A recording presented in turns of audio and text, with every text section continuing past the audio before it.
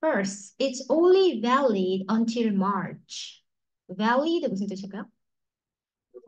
유효하다 이런 표현이요. valid. Is it still valid? 이거 아직도 유효해요? 이렇게 쓸 수 있어요. or 그리고 the airfares. 우리 flight ticket price 이걸 줄이면 airfare가 되겠죠. 우리 운송 요금을 fare를 많이 써. 택시나 버스 fare. How much is the fare? 이렇게 많이 물어보거든요.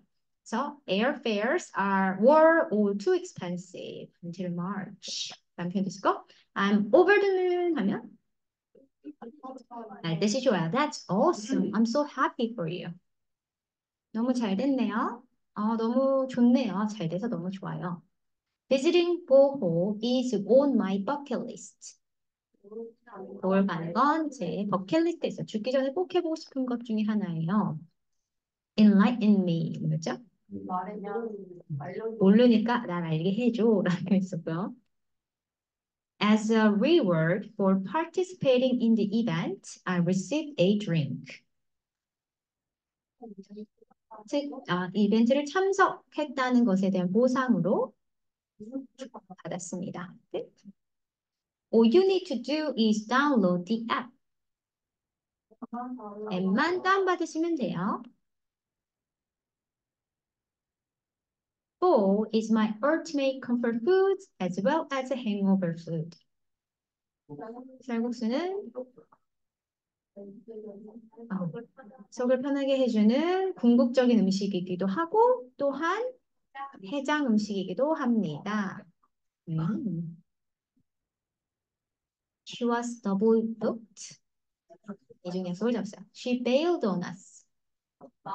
파톤 있어요. Mark your calendar for my birthday party on Saturday. 토요일 내 생일 파티 어, 체크해놔. 음. We talked behind her back. 그전에 뒷담화했어요. It's hard to reach you by phone.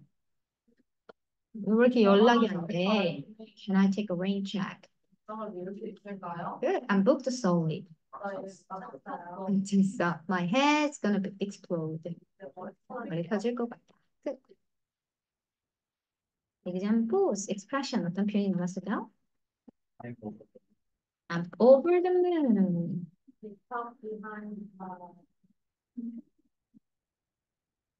We're back.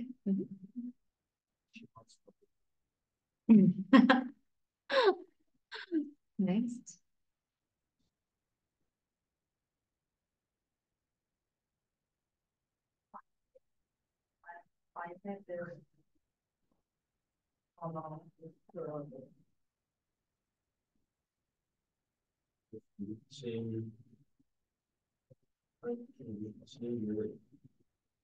Right one. Mhm.